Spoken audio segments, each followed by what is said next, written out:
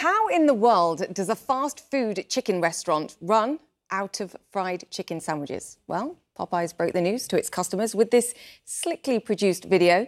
Take a listen. When you get like 5 million people, 6 million people on social media talking about this sandwich is good, What? No. We're sold out of chicken sandwiches. We sold out in four hours.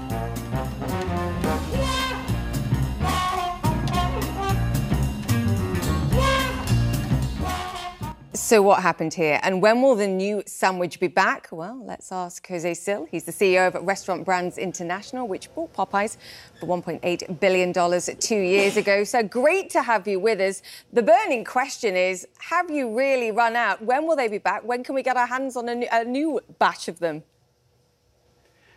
Good morning, uh, Julia. Great to be here. Uh, yes, we really have run out. Um, look, we, we do a lot of work and, and behind the scenes when we uh, develop new products, and we've been working on a, on a great tasting chicken sandwich at Popeyes for, for quite some time. We have an amazing group of, uh, of chefs, a culinary team that's been working on this for, for over a year.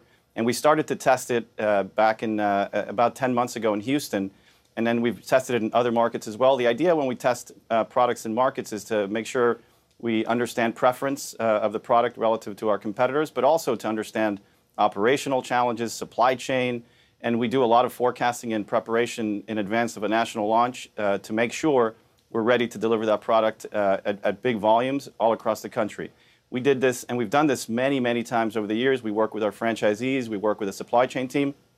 We had, I think we missed one thing. We didn't expect to break the internet, and, uh, and as a result, we had the entire nation uh, really excited about the, the, Popeyes chicken sandwich, and, uh, and, and as a result, we ran out much sooner than uh, we anticipated. I mean, so for all the preparation, the forecasts here were just plain wrong. How rare is this to be so off-site on your forecasts? And, and can you tell us how many sandwiches you've actually sold in order to completely run out here?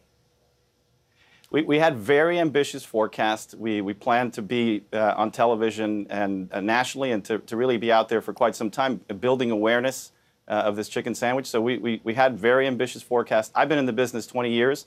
I've talked to many of our franchise partners uh, across the country uh, that, that have been in the business uh, you know, 40, 50 years in some cases.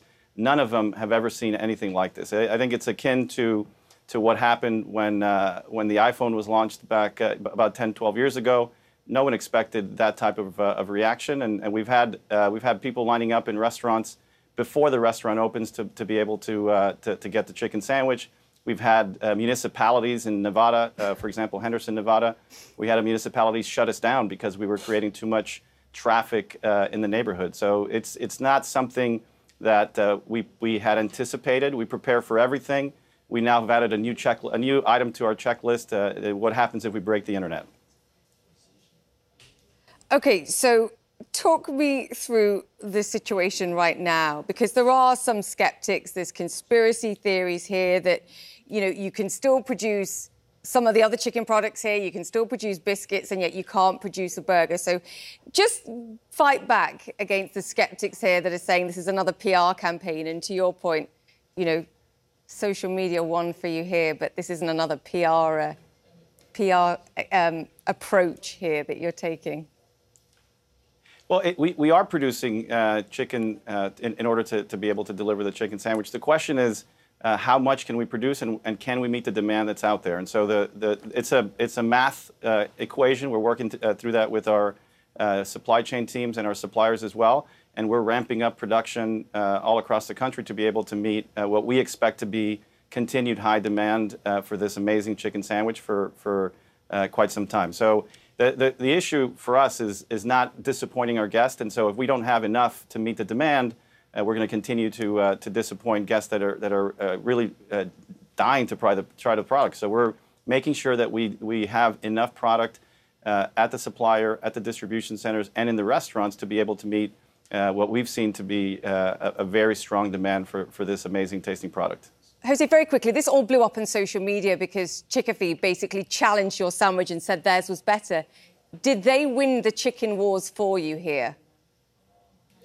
I, I think the, the consumers, uh, the consuming public in the U.S., uh, they won the chicken wars. They had a chance to try an amazing new chicken sandwich. We, we brought a new, great tasting product uh, to, uh, to the U.S.